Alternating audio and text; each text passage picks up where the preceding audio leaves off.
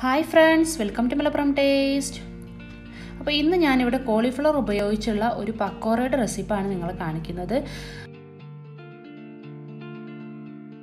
അപ്പോൾ ഇതിനാവശ്യമായിട്ടുള്ള കോളിഫ്ലവർ ആദ്യം തന്നെ നമുക്കൊന്ന് ക്ലീൻ ചെയ്തെടുക്കണം. കോളിഫ്ലവർ നന്നായിട്ട് ക്ലീൻ ചെയ്തെടുക്കണം.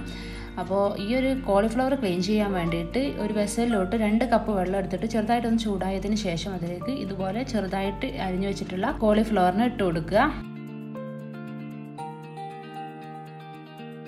ഞാനിവിടെ ഇരുന്നൂറ് ഗ്രാം കോളിഫ്ലവറാണ് എടുത്തിട്ടുള്ളത്. ഇരുന്നൂറ് ഗ്രാം എന്ന് പറയുമ്പം ഒരു മീഡിയം വലിപ്പത്തിലുള്ള ഒരു കോളിഫ്ലവറിന്റെ ഹാഫ് പോർഷനാണ് ഞാൻ എടുത്തിട്ടുള്ളത്. പിന്നെ ഇതിലേക്ക് അല്പം ഉപ്പും കൂടെ ചേർത്തിട്ട് ഇതിനെ ഒന്ന് ബോയിൽ ചെയ്യുന്നവരെ ഒരു മൂന്നാൽ മിനിറ്റ് നേരം ഇതിനൊന്ന് കുക്ക് ചെയ്തെടുക്കുക.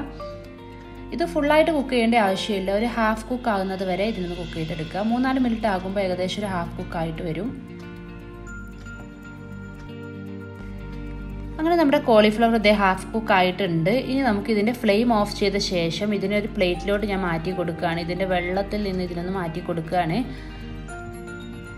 അങ്ങനെ മുഴുവനായും ഇതിനെ മാറ്റി കൊടുത്ത ശേഷം ഇതൊന്ന് തണുത്തതിന് ശേഷം മാത്രമേ ഇത് മസാലയിൽ മിക്സ് ആക്കാൻ പറ്റുള്ളൂ. അതുകൊണ്ട് ഇത് തണുക്കുന്ന സമയം കൊണ്ട് നമുക്കൊരു മസാല റെഡിയാക്കി എടുക്കാം. അപ്പോൾ മസാല റെഡിയാക്കാൻ വേണ്ടിയിട്ട് ഞാനൊരു ബൗളിലേക്ക് അര കപ്പ് കടലമാവാണ് എടുക്കുന്നത്.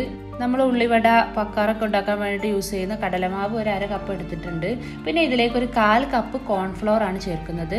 പിന്നെ ഒരു മൂന്നാൽ ടേബിൾ സ്പൂൺ ഒനിയൻ ചേർക്കുന്നുണ്ട്. ചെറുതായിട്ട് കൊത്തി അരിഞ്ഞിരിക്കുന്നതാണ് മൂന്നാൽ ടേബിൾ സ്പൂൺ മതി.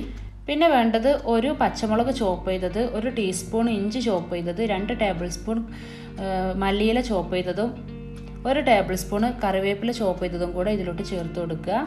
അടുത്തതായി ഇതിലേക്ക് ഒരു ടീസ്പൂൺ ഉപ്പ് ചേർത്ത് കൊടുക്കുക. പിന്നെ ഒരു ടീസ്പൂൺ മുളക് പൊടിയും കാൽ ടീസ്പൂൺ ഗരം മസാല പൊടിയും കൂടെ ചേർത്ത് കൊടുക്കുക. അതിനുശേഷം ഒരു നുള്ള് കായപ്പൊടി കൂടെ ചേർത്ത് കൊടുക്കുക. നമ്മൾ ഈ സാമ്പാറിലൊക്കെ ഇടുന്ന കായത്തിന്റെ പൊടി ഉണ്ടല്ലോ അതൊരു നുള്ള് ചേർത്ത് കൊടുക്കുക. അസഫോറ്റൈഡ എന്ന് പറഞ്ഞ പൊടി. പിന്നെ അതിനുശേഷം ബേക്കിംഗ് സോഡയാണ് വേണ്ടത്. അതൊരു പിഞ്ച് അതും കൂടെ ചേർത്ത് കൊടുക്കുക. ഇനി ഇതിലേക്കൊരു കാൽ കപ്പ് വെള്ളം കൂടെ ചേർത്തിട്ട് നന്നായിട്ടൊന്ന് കൈകൊണ്ട് കുഴച്ചെടുക്കുക.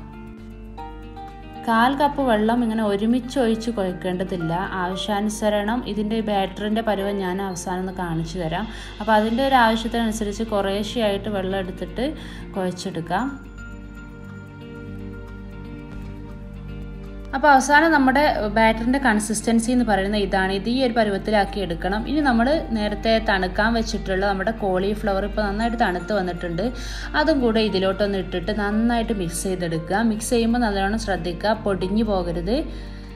ഇതിന്റെ ഈ ഒരു ബാറ്ററി ഇതിനൊന്ന് കോട്ട് ചെയ്തെടുക്കുന്ന രീതിയിൽ നന്നായിട്ട് മിക്സ് ചെയ്തെടുക്കണം. അപ്പോൾ ഇതിന്റെ ഒരു കോട്ടിംഗ് ആയിട്ടാണ് നമ്മുടെ ഈ ബാറ്ററി നിൽക്കേണ്ടത്. നമുക്ക് ഇതിനൊന്ന് ഫ്രൈ ചെയ്തെടുക്കാൻ വേണ്ടിയിട്ടാണ്. ഇത് ഇങ്ങനെ അല്ലെങ്കിൽ ഓരോ പീസസ് ആയിട്ട് ഡിപ്പ് ചെയ്തിട്ട് ഫ്രൈ ചെയ്തെടുത്താലും മതി. ഞാനിപ്പോൾ ഇതിനെ ഒന്ന് മൊത്തമായിട്ട് മിക്സ് ചെയ്തെടുക്കുകയാണ് ചെയ്തത്. അങ്ങനെ നമ്മുടെ കോളിഫ്ലവർ ഇതേ ഫ്രൈ ചെയ്യാൻ റെഡിയാക്കി എടുത്തിട്ടുണ്ട്. ഇനി നമുക്കിതിനെ ഫ്രൈ ചെയ്തെടുക്കാം. അപ്പോൾ ഫ്രൈ ചെയ്തെടുക്കാൻ വേണ്ടിയിട്ട് ഞാനിവിടെ ഒരു കടായിലേക്ക് നാല് കപ്പ് ഓയിൽ ഒഴിച്ചു കൊടുക്കുകയാണ്. ഓയിൽ നന്നായി ഹൈ ഫ്ലെയിമിൽ വെച്ച് ചൂടാക്കി എടുക്കുക ശേഷം തീ ഒരു മീഡിയം ഫ്ലെയിമിലാക്കിയിട്ട് ഓരോ പീസസ് ആയിട്ട് കോളിഫ്ലവറിന് ഇതിലിട്ടൊന്ന് ഫ്രൈ ചെയ്തെടുക്കാം. അപ്പോൾ നമ്മുടെ കടായിയുടെ വലുപ്പത്തിനനുസരിച്ച് നമുക്കിതിനെ ഫ്രൈ ചെയ്തെടുക്കാം. ഒന്ന് ചെറുതായിട്ട് മൊരിഞ്ഞു വരുന്ന സമയത്ത് ഇതുപോലെ ഒന്ന് ഇളക്കിയും മറച്ചൊക്കെ ഇട്ടിട്ട് ഇതിനൊന്ന് നന്നായിട്ട് കുക്കാക്കി എടുക്കുക അങ്ങനെ നമ്മുടെ പക്കോറ നന്നായിട്ട് കുക്കായി വന്നിട്ടുണ്ട്. ഏകദേശം ഒരു പത്ത് മിനിറ്റ് ഒക്കെ ആയി. ഒരു മീഡിയം ഫ്ലെയിമിൽ ഒരു പത്ത് മിനിറ്റ് ഒക്കെ ഇങ്ങനെ വെക്കുമ്പോൾ തന്നെ നമ്മുടെ പക്കോറ നല്ല പക്ക ആയിട്ട് വരും. അപ്പോൾ ഇതിന് നമുക്ക് എണ്ണയിൽ നിന്നും കോരി മാറ്റി വെക്കാം. ഇതുപോലെ നമുക്ക് ബാക്കിയുള്ളവയെല്ലാം റെഡിയാക്കി എടുക്കാം.